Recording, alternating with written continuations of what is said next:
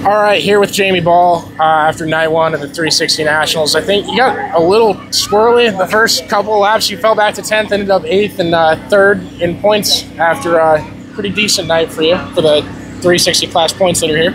Yeah, consistent as can be. You know, we're we're pretty decent when it comes to qualifying and rolling forward here or there, and not the most aggressive driver in the world. So the whole go for broke type deal doesn't work out for me. So that's why I really like this Nationals format and why we've made we'll be locking into I think ninth out of our 13 tries in my career into the A main, and just uh, you know rolled forward there in the heat race. Surprisingly, I mean I, I thought we had a chance, but with uh, I think it was Reitzel and Peck there, I was just a little nervous to how the start was going to go, and finally starting fifth, I got the better of everybody and just rolled forward and, and had confidence going in there in the feature.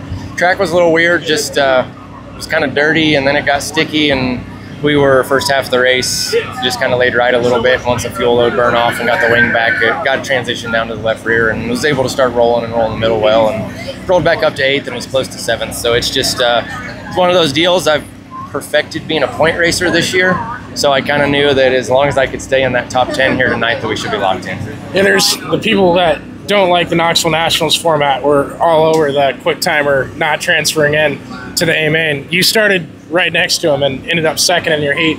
Obviously, you have a car that can pass at times. What do you need in your setup to make it go faster on Saturday?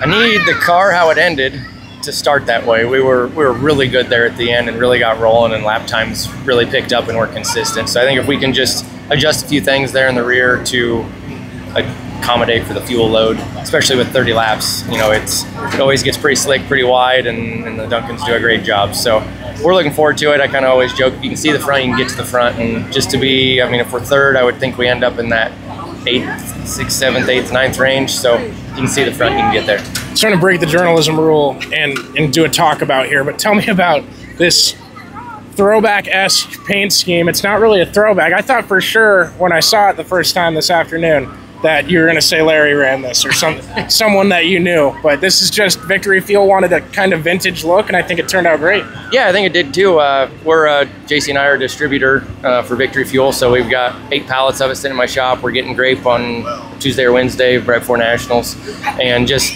Kevin and Jordan are good friends of ours, and we wanted to help them out when their product came out.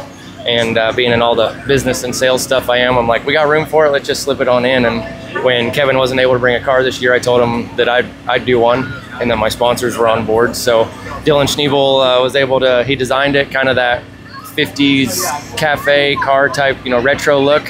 And uh, Brandon with Think and Ink printed it and laid it all on. And I'm in love with matte vinyl now. I think it looks good. It's sharp and it's not overdone. It's not shiny and glittery, but I think it looks real good. And I can't wait to see some on-track photos no offense to the chrome people, but I'll, I'll take matte over chrome any day. It looks fantastic. And I've seen, on top of it, a lot more people using Inferno Armor and uh, Industrious Solutions over the course of, uh, well, today and the rest of the racing season.